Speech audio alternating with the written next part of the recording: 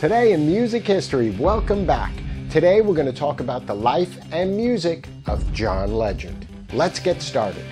John Legend was born John Rogers Stephens on December 28, 1978, in Springfield, Ohio. Growing up in Springfield, John, along with his three other siblings, were homeschooled by their mother. At the age of just four years old, John sang in the church choir, and at the age of seven years old, he began taking piano lessons. At 13, John entered North High School. Already accomplished musically, his teachers knew John was a quick learner and quite intelligent. And they were right. John ended up graduating the salutatorian of his senior class. Turning down entry to Harvard, Georgetown, and Morehouse universities, John finally decided to seek his college education at the University of Pennsylvania.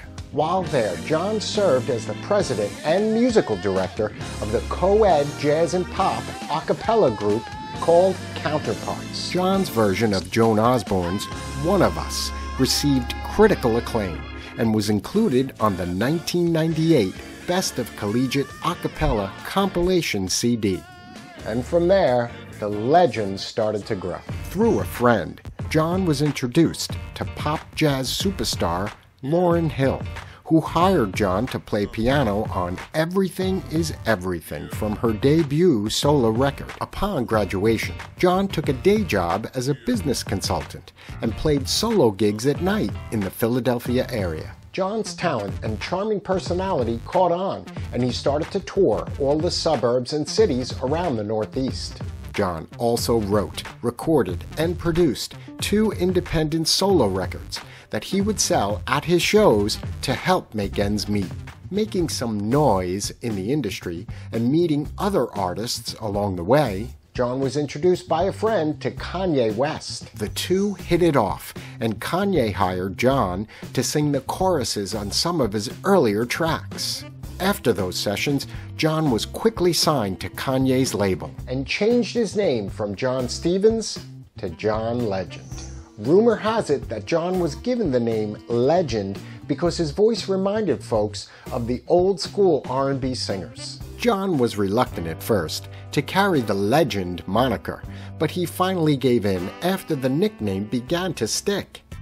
In 2004, John's debut record, Get Lifted, is released and went on to sell close to a million copies and produced four hit singles. It also picked up a Grammy for the Best R&B Album in 2006. Nice way to kick off a career, but this is where things really get rolling. Now, hotter than ever, John started to work and collaborate with artists such as Sergio Mendes, Jay Z, Mary J. Blige, the Black Eyed Peas, Fergie, and so many more. 2006 sees the release of John's second album, titled Once Again. The record reached number three on the Billboard charts and picked up another Grammy for the song Heaven. In October 2008, John releases his third studio album, Evolver.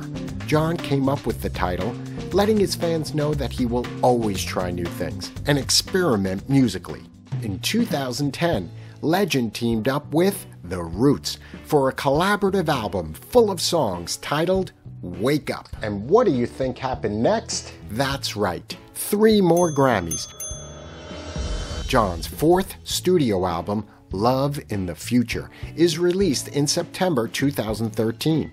It debuts at number 4 on the Billboard Top 200. The album was also nominated for Best R&B Album at the 2014 Grammy Awards. Legend's third single from the album, All of Me, became an international chart success and one of the best-selling digital singles of all time. The song is a ballad dedicated to his wife.